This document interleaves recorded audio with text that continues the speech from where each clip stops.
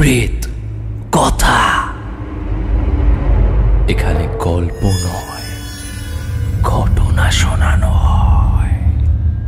সকলকে স্বাগত জানাচ্ছি প্রেত কথার ভূত চতুর্দশী স্পেশাল এপিসোডে আমাদের কাছে এটি অনেক স্পেশাল একটি এপিসোড তার কারণ আজ ভূত চতুর্দশীর রাত এবং আজকেই প্রেত কথার দুশো তেতাল্লিশ নম্বর এপিসোড ব্রডকাস্ট হচ্ছে।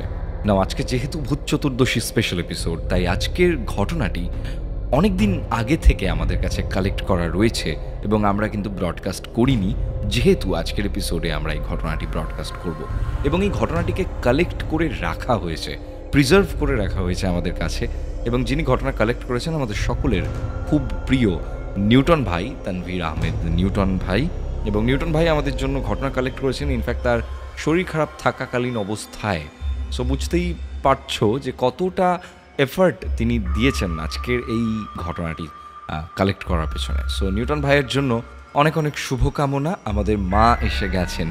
সো সকল বিপদ থেকে আমাদেরকে মা রক্ষা করে যাবেন। এই আশা রাখি, সুস্থতা কামনা করি প্রত্যেকের। সকলের জীবনে সুখ, স্বাচ্ছন্দ্য এবং শান্তি নেমে আসুক। শুরু করছি আজকের এপিসোড খুব স্পেশাল একটি এপিসোড দুশো তেতাল্লিশ নম্বর এপিসোড ভূত চতুর্দশী স্পেশাল এপিসোড প্রেত কথার ইতিহাসে তৃতীয়বার ভূত চতুর্দশী স্পেশাল এপিসোড ব্রডকাস্ট করা হচ্ছে। আমি গৌরব আছি তোমাদের সঙ্গে সাউন্ডে রয়েছে সৌম্যদীপ গ্রাফিক্সে অনিকেত। আশা করছি কমেন্ট করে জানিয়ে দিয়েছ কে কোথা থেকে শুনছো এবং কতটা এক্সাইটেড আজকের এপিসোডের জন্য এবং লাইক করে ফেলেছো। আজকের এপিসোডটি নতুন হলে সাবস্ক্রাইব করতে ভুলো না। প্রত্যেক শুক্রবার এবং রবিবার রাত দশটার সময় প্রেত কথার অফিসিয়াল ইউটিউব চ্যানেল এবং স্পটিফাইতে রাত এগারোটার সময় প্রেত কথার এপিসোড আসতে থাকে। শুক্রবার এবং রবিবারের রাত মানেই রাত উইথ গৌরব।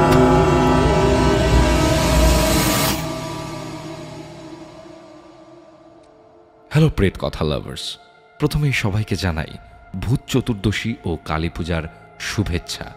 হ্যাপি দিওয়ালি আমাকে সবার মনে আছে তো? একটা সময় ভেবেছিলাম, প্রেত কথায় হয়তো আর কোনো ঘটনা পাঠানোর সৌভাগ্য হবে না। কিন্তু তোমাদের ভালোবাসা ও আশীর্বাদে আজ আবারও লিখতে বসেছি আমার নবম ঘটনা। তোমাদের প্রার্থনা আমাকে মৃত্যুর মুখ থেকে বাঁচিয়ে এনেছে। অপারেশনের পর ধীরে ধীরে সুস্থতার দিকে এগিয়ে চলেছি। যারা নতুন, তাদের জন্য জানিয়ে রাখছি, আমার পূর্বের ঘটনা পাবে দুইশো এক, দুইশো দুই, দুইশো পাঁচ দুইশো আট, দুশো বারো, দুশো ষোলো, দুশো তেইশ এবং দুশো বত্রিশ নম্বর এপিসোডে আজকের ঘটনাটি লেখার প্রেরণা ও সাহস পেয়েছি গৌরবদার মায়ের কাছ থেকে, তাই ডেডিকেট করছি মামনিকে।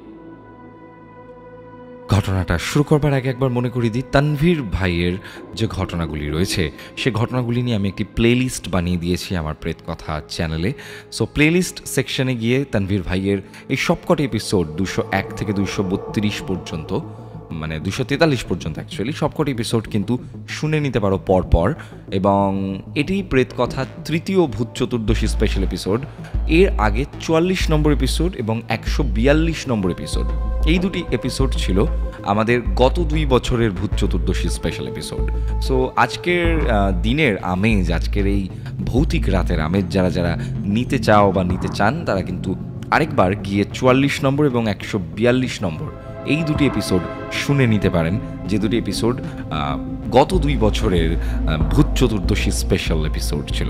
চলে যাচ্ছি ঘটনায়, যেভাবে লিখে পাঠিয়েছেন, আমি ওভাবেই পড়ে শোনাচ্ছি।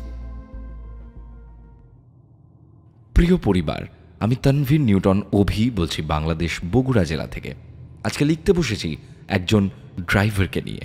তাও আবার ঘটনাটি ঘটেছিল এক অমাবস্যার রাতে।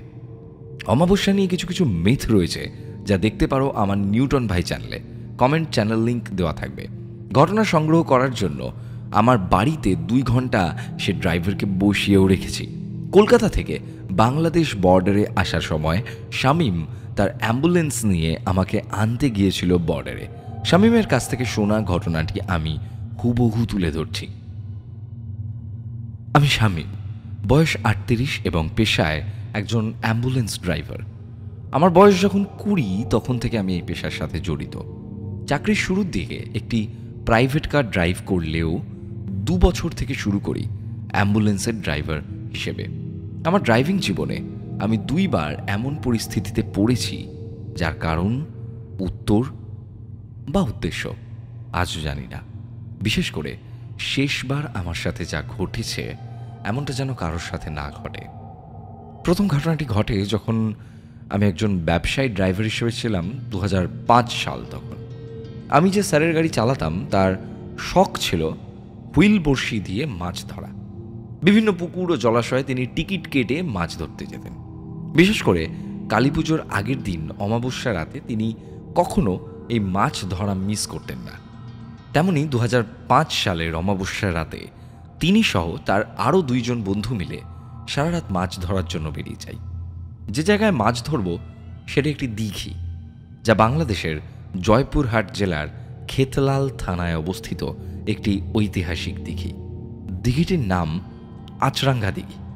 ঐতিহাসিক বলার একটা কারণ রয়েছে, দেখেছি অনেক প্রাচীন এবং পঁচিশ একর জায়গার উপর এই দিঘিটি। এই দিঘি থেকে প্রাচীন আমলে মাঝে মাঝেই সোনা ও রূপার জিনিস ভেসে উঠত। সরকারিভাবে দিঘিটি খননকালেও অনেক প্রাচীন অলংকার এবং আসবাবপত্র পাওয়া গেছে। গুগলে সার্চ করলেও তোমরা পাবে দিঘিটি গ্রামের সরু রাস্তা দিয়ে অনেকটা ভিতর দিকে যেতে হয় আর কি। বাড়িঘর আশেপাশে নেই বললেই চলে। সরকারিভাবে লিজ নিয়ে এখানে মাছের চাষ করা হয়। আমার স্যারকে সেই মৎস্য চাষি মাছ ধরার আমন্ত্রণ জানিয়েছিলেন। কথা মতো আমরা বিকেল পাঁচটায় সেখানে উপস্থিত হই।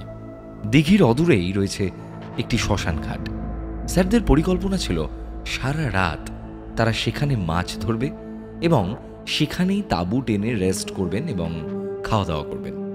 আমি স্যারদের সঙ্গে টহল দিচ্ছিলাম এবং তাদের জন্য চা এবং আনুষঙ্গিক ফরমাইশ আর কি যা হয় সেগুলো খাটছিলাম। রাত একটা নাগাদ আমাকে বলা হলো, গাড়ি নিয়ে যেন আমি খেতলাল বাজার থেকে রুটি এবং মাংস কিনে আনি। দিঘি থেকে মেন রোড যেতে প্রায় তিন কিলোমিটারের একটা আঁকা বাঁকা রাস্তা।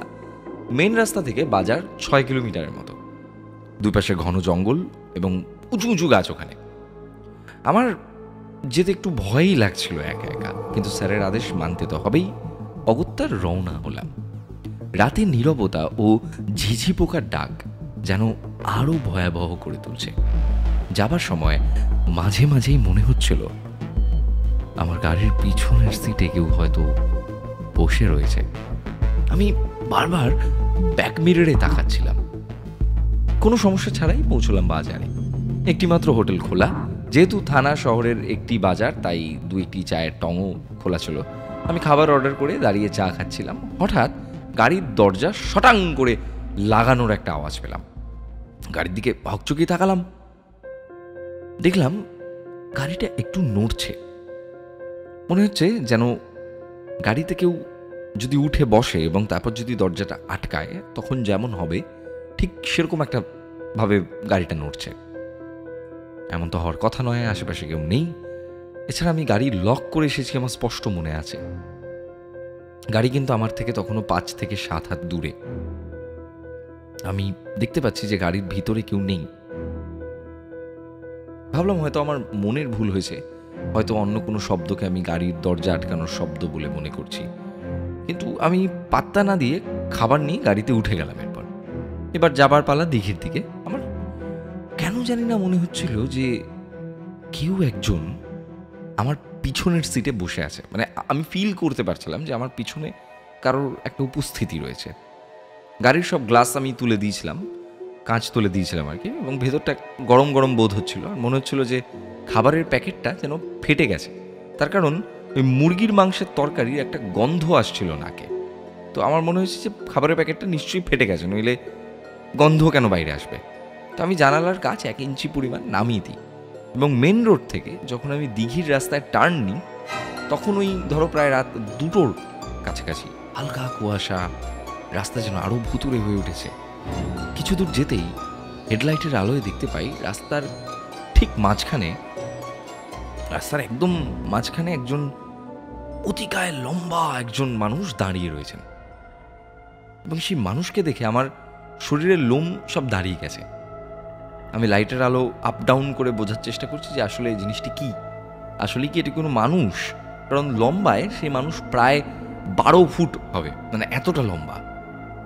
রাস্তার ঠিক মাঝখান দিয়ে লাঠিতে ভর করে হালকা কুঁজো হয়ে তিনি দাঁড়িয়ে রয়েছেন। দেখে মনে হচ্ছে যেন আমারই অপেক্ষায় তিনি রয়েছেন। আমি খুব কনফিউজড হয়ে গেছি সময় যে আমি কি গাড়িটা ব্রেক করব নাকি আমি গাড়িটা চালিয়ে নিয়ে চলে যাব? খুব কনফিউশন কাজ করছে, আমি তখন দোয়া পড়তে পড়তে গাড়ির গতি বাড়িয়ে এক টান দিয়েছি। দেখলাম গাড়ির সাথে সে মিলিয়ে গেল। তবে বুঝতে পারলাম যে কিছু একটার সাথে গাড়ির ধাক্কা লেগেছে। মানে আমি ফিল করতে পারছি যে গাড়িটার আমার কারোর সাথে ধাক্কা লেগেছে, কিন্তু আমি সামনে দেখছি তিনি নেই, তিনি গাড়ির সঙ্গে মিলিয়ে গেছেন। আমি প্রাণপণে তখন গাড়ির সামনের দিকে চালাচ্ছি, ভয়ে পুরো গলা শুকিয়ে গেছে। আমি গাড়ির ভেতরটা আলো জ্বালিয়ে দিতেই ব্যাক মিররে আমি দেখতে পাই, বেটে মতো একজন মানুষ। ঠিক আমার সিটের উপর ঝুঁকে আমাকে দেখছে। আমি ব্যাক মিরর থেকে এটা দেখছি। বেটে মতো এক- একজন মানুষ, তিনি আমার সিটের উপর ঝুঁকেছেন আমার পিছন দিক থেকে, কাঁধের দিক থেকে, এবং আমাকে দেখছেন তিনি। আর হাতে একটা মুরগির পিস এবং মিররে এটা দেখে আমি এতটা ভয় পেয়ে যাই যে আমার তারপর কিছু মনে নেই। যখন জ্ঞান ফেরে, আমি দেখতে পাই আমার স্যার এবং তার বন্ধুরা মিলে গাড়ি খোলার চেষ্টা করছে। সবে তখন ভোরের আলো ফুটেছে। আমি তড়িঘড়ি দরজা খুলে কান্নায় ভেঙে পড়ি। স্যারকে সব কিছু খুলে বলি আরও আশ্চর্য হয়ে আমরা সবাই যখন দেখলাম গাড়ির পিছনের সিটে যেখানে পা রাখা হয়, সেখানে পড়ে আছে আমার মুরগির মাংসের হাড়গোড়। আমি কোনো মতে স্যারদের নিয়ে বাড়ি পৌঁছে যাই এবং দুই দিন প্রচণ্ড দুর্বল ছিলাম আমি শরীরী শারীরিক দিক থেকে। তারপর থেকে আবার ডিউটি আমি শুরু করি পরবর্তীকালে। সে স্যারের কাছে আরও এক বছর ডিউটি করার পর নিজেই একটি অ্যাম্বুলেন্স কিনি এবং অ্যাম্বুলেন্সের ড্রাইভিং শুরু করি। অ্যাম্বুলেন্স ড্রাইভিংয়ের সময় ছোটোখাটো অনেক ব্যাপার ঘটেছে। অনেক সময় এমন ঘটেছে যে বিভৎস লাশ আমাকে বহন করতে হচ্ছে, অনেক সময় আমি দেখছি লাশ যেন নড়াচড়া করছে। অনেক সময় সোজা রাস্তাকে আঁকা বাঁকা দেখেছি। তো সব থেকে ভয়ঙ্কর যে ঘটনাটি ঘটেছিল, সেটি হলো গত দু হাজার কুড়ি সালের মে মাস নাগাদ। তখন করোনার তাণ্ডব লীলা চলছে। ভয়ে কেউ করোনা আক্রান্ত রোগীর ধারে কাছে যাচ্ছে না, পরিবারের একান্ত আপনজনেরাও তখন কাছে ভিড়ত না রোগীর। এমন হয়েছিল যে করোনা রোগী বা করোনার মৃত ব্যক্তির লাশ বহন করলে অ্যাম্বুলেন্স পর্যন্ত সেই এরিয়াতে ঢুকতে দেওয়া হতো না। তো এরকমই সেই সময় দুর্যোগ চলছে, মহামারী চলছে। এবং সেই সময় হঠাৎ রাত দেড়টা নাগাদ আমার ফোনে একটা কল আসে যে একই পরিবারের দুইজন রোগী মারা গেছেন। হসপিটাল থেকে তাদের লাশ নিয়ে যেতে হবে তাদের গ্রামের বাড়িতে। আমিও আমার সাথে থাকা অ্যাসিস্ট্যান্ট মনির, আমরা দুজন রওনা দিলাম হসপিটালের দিকে। মনিরকে সবসময় আমার সাথেই রাখি, কারণ স্ট্রেচার ধরা বলো বা অন্যান্য আনুষঙ্গিক কাজকর্ম, এগুলো মনির খুব হেল্প করে। তো হাসপাতালে পৌঁছে জানতে পারলাম যে সহদর দুই ভাই মারা গেছেন এবং তাদের বগুড়া জেলা থেকে প্রায় দেড়শো কিলোমিটার দূরে কুষ্টিয়া নামক জেলায় নিয়ে যেতে হবে। আমাকে যিনি ফোন করে ডেকেছেন, তিনি মৃত ব্যক্তিদের চাচাতো ভাই এবং তিনি লাশের সাথে যেতে অনিচ্ছুক। তিনি যাবেন আরেকটি প্রাইভেট গাড়িতে করে। হসপিটাল থেকে আমাদের লাশ বুঝিয়ে দেওয়া হলো। হসপিটাল বয়, আমি এবং মনির, আমরা তিনজন লাশগুলোকে গাড়িতে তুলে আমরা রওনা দিই। লাশগুলো কালো পলি দিয়ে মোড়ানো, আমি ড্রাইভিং সিটে আর মনির আমার পাশের সিটে বসে আছে। লাশ বহন করা তখন আমাদের জন্য কিন্তু মামুলি ব্যাপার, কারণ এত লাশ বহন করেছি যে এসব বিষয়ে অতি সামান্য বলে মনে হয়। তবে করোনা আক্রান্ত ব্যক্তির মৃতদেহ বহন করতে একটু ভয় ভয়ে করছিল। সেই সময় আমরা দুজনেই যথেষ্ট প্রোটেকশন নিয়ে চলতাম। রাস্তা ফাঁকা বলে আমরা গাড়ি নিয়ে হাইওয়ের রাস্তা ধরে খুব জোরেই গাড়িটাকে টানছিলাম। মাঝে মাঝে দু একটা পুলিশের গাড়ি আর সরকারি গাড়ি ছাড়া কোনো পাবলিক ট্রান্সপোর্ট রাস্তায় নেই। মাঝে মাঝেই মাথার উপর ঝুলে থাকা আয়নায় চোখ পড়ছিল।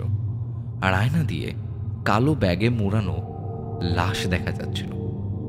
প্রায় আশি কিলোমিটার হাইওয়ে রোড দিয়ে যাওয়ার পর রাস্তা খারাপ থাকার কারণে আমরা সিদ্ধান্ত নিই ভিতরের রাস্তা দিয়ে যাব। যা ছিল প্রায় পনেরো কিলোমিটারের রাস্তা। দুই পাশে বিস্তৃত ধানের ক্ষেত, মাঝে মাঝে দু একটি বাড়িঘর এবং দোকানপাট। বিপত্তিটা শুরু হয় ঠিক এই সময় থেকে। খেয়াল করলাম গাড়িটা জার্কিং হচ্ছে। অথচ রাস্তা একেবারে ভালো। নেই কোনো ভাঙা বা গর্ত। আমরা গাড়িটা থামিয়ে সব চাকা ও ইঞ্জিন চেক করি। কোথাও কোনো সমস্যা নেই। আবার যখন চলতে শুরু করলাম, খেয়াল করলাম, পিছন থেকে কেউ যেন টেনে ধরেছে গাড়িটা আমি যতই পিক আপ টানছি, মনে হচ্ছে পিছন থেকে কেউ না কেউ শক্ত করে গাড়িটাকে টেনে ধরে আর গাড়ির স্টিয়ারিং এর উপর আমার নিয়ন্ত্রণ কমছে। মনে হচ্ছে কেউ ডান থেকে চাপ দিচ্ছে, আবার কখনো মনে হচ্ছে কেউ বাম থেকে, গাড়িটি বাম দিকে চাপ দিচ্ছে। আমরা আবারও গাড়িটা থামাই এবং ভালোভাবে সবকিছু চেক করি। সবকিছু ঠিক রয়েছে, তারপরেও কেন এমনটা হচ্ছে? আবার যখন গাড়ি স্টার্ট করতে গেলাম, তখন শুরু হলো একটা ঝড়। এত জোরালো বাতাস আর আকাশে বিদ্যুৎ চমকানো খুব কম দেখেছি জীবনে। ঝড়ে গাছগুলো যেন ভেঙে পড়তে চাইছে। বৃষ্টি, বাতাস ও ঝড়ের তাণ্ডবে সিদ্ধান্ত নিলাম যে সামনে কোনো বাজার করলে সেখানে গাড়িটা কিছুক্ষণ থামিয়ে রাখব। কিন্তু এতটাই ঝড় বৃষ্টি যে সামনে এগিয়ে যাওয়া কঠিন। বাধ্য হয়ে রাস্তার এক পাশে গাড়ি দাঁড় করালাম। মনির বলে উঠল, ওস্তাদ, সামনে দেখেন, কেউ একজন আসছে মনে হয় না? খেয়াল করলাম একজন মহিলা রঙিন একটি শাড়ি পরে আমার গাড়ির দিকে এগিয়ে আসছে কিন্তু এত ঝড় বৃষ্টির রাতে কেন বা মহিলা বাড়ির বাইরে? চেহারাটা আমাদের কাছে তখনও অস্পষ্ট, কারণ বৃষ্টিতে গাড়ির সামনের গ্লাস অনেকটা ভেজা। আমি গাড়ির হেডলাইট চালাতেই দেখলাম, গাড়ির ঠিক সামনে তিনি দাঁড়িয়ে আছেন। এমনভাবে দাঁড়িয়ে আছেন যে তার চেহারা দেখা যাচ্ছে না। খেয়াল করলাম, এই বৃষ্টিতেও তার কাপড় যেন একেবারে শুকনো। কাপড় ভেজা থাকলে সেটা অনেকটা বোঝা যায়। আর এই মহিলা এমন নির্লিপ্তভাবে দাঁড়িয়ে আছেন, মনে হচ্ছে আমাদের যেন তিনি দেখেনি আমাদের উপস্থিতি যেন টেরই পাননি। আমি হেডলাইট জ্বালিয়ে দু একবার হর্ন বাজাতেই মহিলাটি গাড়ির সামনে থেকে নেমে সরে গিয়ে ধান ক্ষেতের দিকে চলে গেল। আমরা দুজনেই প্রচণ্ড ভয় পেয়ে গেলাম। এটা কি আদৌ মানুষ ছিল, নাকি কোনো অশরীরী আত্মা? ততক্ষণে বৃষ্টি কমতে শুরু করেছে। তাই আমি আবারও গাড়ি স্টার্ট করলাম এবং সামনের দিকে আস্তে আস্তে এগোতে শুরু করলাম। কিছু দূর যেতেই হঠাৎ মনে হলো যে কিছু একটা গাড়ির ছাদে এসে লাফ দিয়ে পড়ল। সাথে সাথে ব্রেক কষে মনিরকে বললাম, দেখ তো মনির, কোনো গাছের ডাল ভেঙে পড়ল কিনা? মনির গাড়ির দরজা খুলে বের হয়ে ছাদে উঁকি দিয়ে বলল, না ওস্তাদ, কিছু তো পড়েনি। আমরা আবার চলতে শুরু করলাম। এবার মনে হলো, আমাদের পিছনে, অর্থাৎ যেখানে লাশ দুটি রয়েছে, সেখান থেকে আমি গোঙানির আওয়াজ পাচ্ছি। আমি পিছনে না তাকিয়ে মনিরকে বললাম, আমি যা শুনতে পাচ্ছি, তুইও কি তাই শুনতে পাচ্ছিস মনির? মনির বলল, জি ওস্তাদ, আমার মনে হয় এই রাস্তাটা এখনও সমস্যা রয়েছে। একের পর এক সমস্যা হয়েই চলেছে আমাদের সাথে। গাড়ি চালাতে চালাতে লুকিং গ্লাসে খেয়াল করলাম, সে রঙিন শাড়ি পরা মহিলা একটা লাশের পলিথিন সরিয়ে কি যেন খুঁজছে, তাও আমার গাড়ির ভেতরে। আমার মুখ দিয়ে কথা বলার শক্তি যেন আমি হারিয়ে ফেলেছি। আমি যে মনিরকে ব্যাপারটা বলব, সেই শক্তিও পাচ্ছি না। মনির আমার শরীরে ঝাঁকুনি দিয়ে আমাকে ডেকে বলল, জলদি ব্রেক করেন ওস্তাদ। আপনি রাস্তা থেকে ফুটপাতে নেমে গিয়েছেন। আমি সম্বিত ফিরে পাই এবং তড়িঘড়ি ব্রেক করি। আমি দোয়া পড়তে পড়তে গাড়ি থেকে নামি এবং অ্যাম্বুলেন্সের পিছনে দরজা খুলে লাশ চেক করতে যাই। মনির এবং আমি দুজনেই দেখতে পাই লাশ দুটোর পলিথিন ছেঁড়া। দুটো লাশের মুখেই তাজা রক্ত গাল বেয়ে জমে পড়ছে। আমরা দোয়া পড়তে পড়তে সামনের দিকে ছুটে চলি। এবার খেয়াল করলাম মনির ভয়ার্ত দৃষ্টিতে পেছনে থাকা লাশের দিকে তাকিয়ে আছে। কথা বলতে যাবে এমন ভাব মুখ নাড়াচ্ছে কিন্তু কথা বলছে না। বোবা মানুষ যেভাবে কথা বলছে, তেমন শব্দ করছে। আমি গাড়ি স্লো করে পিছনে তাকিয়ে দেখি আবারও সেই রঙিন শাড়ি পরা মহিলাটি একটি লাশের মুখে মুখ লাগিয়ে কি যেন করছে। এবার দুজনে এতটা ভয় পাই যে গাড়ি থামিয়ে আমরা গাড়ি থেকে নেমে পড়ি। রাস্তার পাশে থাকা একটা বন্ধ দোকানের সামনে দাঁড়িয়ে আমার পরিচিত এক মৌলানাকে কল করে সব খুলে বলি। তার পরামর্শে আবার গাড়ির কাছে যাই এবং তার শিখিয়ে দেওয়া দোয়া পড়তে থাকি। মৌলানাকে কলে রেখেই গাড়ির কাছে যাই। দেখি সব স্বাভাবিক। কেউ নেই সেখানে। লাশের পলিথিন ব্যাগগুলো তখনও ছেঁড়া। আর মুখে লেগে থাকা রক্ত তখনও রয়েছে। আবার যখন গাড়ি চালাতে শুরু করলাম, দেখি দুটো রঙিন শাড়ি পরা মহিলা হাততালি দিতে দিতে রাস্তার ঠিক মাঝখান দিয়ে দৌড়চ্ছে। আমরা দুজনেই সেটি দেখতে পাচ্ছি। দুজনেই দোয়া পড়তে পড়তে এবার গাড়ি তুলে দিই তাদের উপর। মনে হলো মহিলা দুটি যেন হাওয়ার সাথে মিলিয়ে গেল। তবে সে হাততালি এবং তার শব্দ কানে ভেসে এলো। ওই রাস্তা পেরিয়ে ততক্ষণে আমরা আবার হাইওয়েতে উঠেছি। ভোরের আলো ফুটেছে। আমরা লাশগুলোকে তাদের গ্রামের বাড়িতে পৌঁছে দিয়ে নিজের জেলায় আবার ফিরে আসি। পরবর্তীতে আরও কিছু ড্রাইভার ভাইদের কাছ থেকে জানতে পারি যে ওই রাস্তাটিতে নাকি তারা এমন রঙিন শাড়ি পরা মহিলা এর আগেও দেখতে পেয়েছে। লোকমুখে শোনা যায়, দুজন ট্রান্সজেন্ডারকে নাকি এই রোডে নির্মমভাবে শারীরিক নির্যাতন করে মেরে ফেলা হয়েছিল। তাদের অশরীরী আত্মাই নাকি এখানে দেখা যায়। সঙ্গত কারণে জায়গাটির নাম বললাম না। তো গৌরবদা ছিল আমার স্বামীমের থেকে শোনা ঘটনা। টাইপিং করতে অন্যের সাহায্য নিতে হয়েছে বলে একটু দেরি হয়ে গেল। বানান ভুল থাকতে পারে বা কোথাও একটু অগোছালো থাকলে ঠিক করে নিও। প্রেত কথা লাভার্সদের শুনে নিশ্চয়ই ভালো লাগবে। আজকে আরও একটি সুসংবাদ দিতে চাই। নতুন একটি ঘটনা কালেক্ট করেছি। শ্মশানের দায়িত্বে থাকা একজন লোকের কাছ থেকে। আরেকজন লোকের সাথেও কথা চলছে। যিনি মৃত্যুদণ্ড প্রাপ্ত আসামিদের ফাঁসি কার্যকর করেন। চোখ রেখো প্রেত কথায় সবাই ভালো থেকো। গৌরবদা এবং সবাইকে ভালোবাসা, প্রেত কথা, গৌরব তপাদার ব্লগ এবং নিউটন ভাই চ্যানেলের পাশে থেকো। হ্যাপি দিওয়ালি শুক্রবার এবং রবিবারের রাত মানেই ভয় পাওয়ার রাত উইথ গৌরব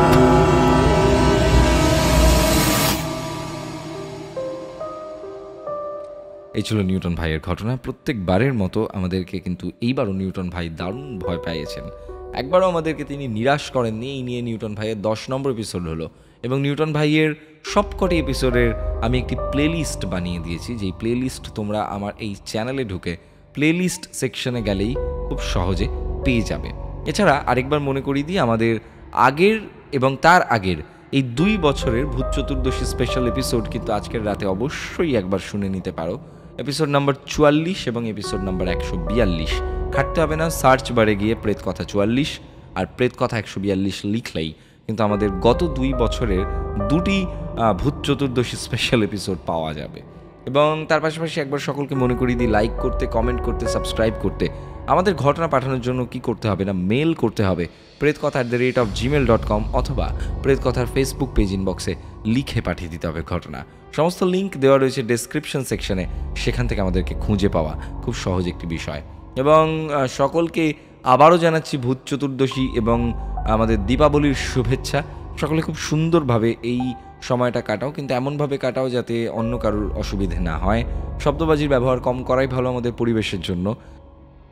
ওয়ান্স এগেন আমি গৌরব ছিলাম তোমাদের সঙ্গে সাউন্ডের সৌম্যদীপ গ্রাফিক্সে অনিকেত। প্রত্যেক শুক্রবার এবং রবিবার রাত ঠিক দশটার সময় প্রেত কথার অফিসিয়াল ইউটিউব চ্যানেল এবং রাত এগারোটার সময় স্পটিফাইতে প্রেত কথার এপিসোড আসতে থাকে। এখানে গল্প নয়, ঘটনা শোনানো হয়।